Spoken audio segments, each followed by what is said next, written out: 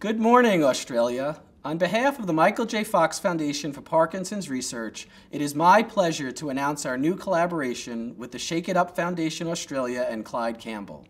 We share a mission to make Parkinson's disease a thing of the past and a commitment to leverage donor-raised resources for high-impact research that will make a tangible difference in patients' lives.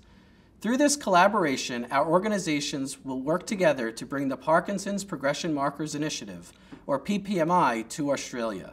PPMI is the Michael J. Fox Foundation's landmark five-year clinical study already underway in the United States and Europe to find biomarkers of Parkinson's disease progression, game changers in the development of disease-modifying treatments for Parkinson's disease.